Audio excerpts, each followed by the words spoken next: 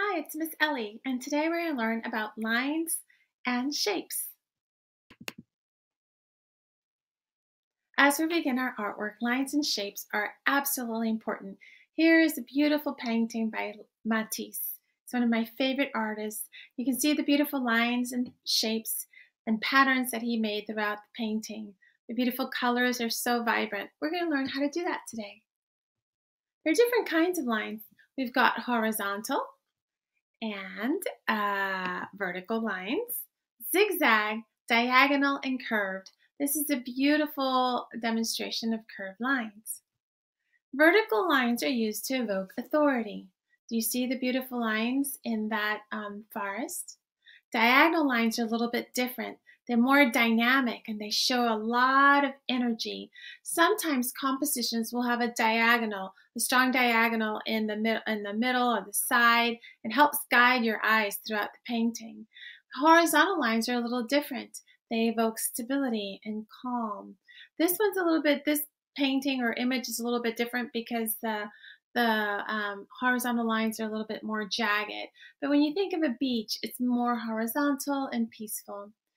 Here's some eh, curved lines. As you can see, this evokes a lot of energy and the rhythm is established through the repetition of the lines here, the line, the curved lines. Lines, we see lines everywhere. We see them in architecture and structural and functional lines. Structural lines you will see here, some horizontal, some diagonal. And the functional lines actually help support things in architecture. We see lines in nature. Here we see what kind of lines. You're right. Those are diagonal lines. And the repetition of lines create a what? Correct. It creates a pattern. Great job. Now we see beautiful patterns. This creates an optical illusion. You can see it has a lot of depth. For example, when you look here, it looks like it's coming towards you that when you look here, it looks like it's going away from you. Creates an optical illusion of sorts. We'll see repetition of um, lines and patterns in mosaics. Here's an example of a mosaic. You see the different beautiful lines. You can repeat, um, you can make um, patterns with colors or lines. Here we have a pattern of colors. We have the gray in the middle, the light blue, and the dark blue. Sometimes you'll see patterns in mosaics, tapestries, prints, textiles, and fabric.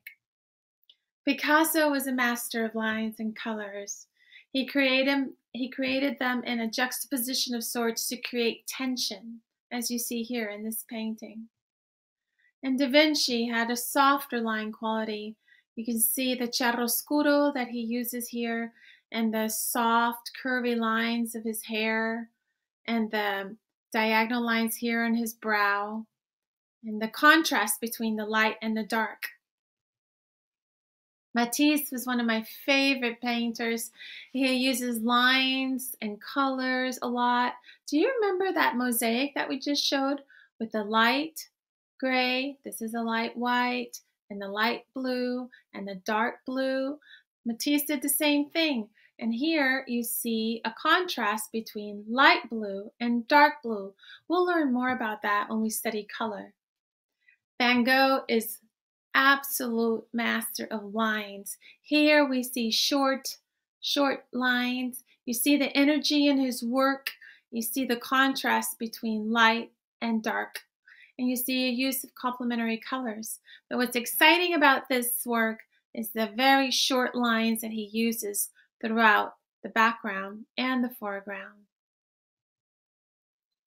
You'll find videos on lines on YouTube. Tips for drawing with lines. Try to vary your lines. Some can be short and some can be long. Vary the width of your line by pressing harder with whatever utensil you're using, whether it's a marker or charcoal. Vary the intensity of the line by pressing harder and then or lighter on the brush. Have fun! I can't wait to see your artwork.